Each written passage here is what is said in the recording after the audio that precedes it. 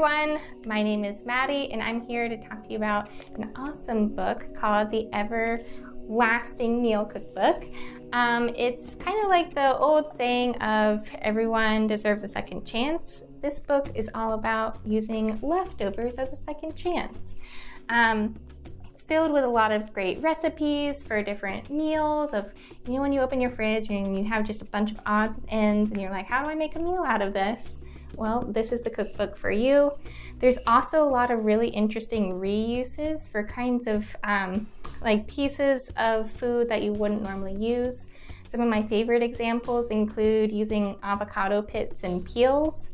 If you boil that, you can make kind of like a dusty rose dye. You can use that dye for cloths or even things like Easter eggs.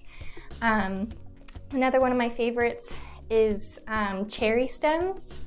Um, if you dry out cherry stems either in like a dehydrator or an oven and then save those, you can actually make a cherry stem tea that's got a lot of really great health benefits and it tastes pretty good too.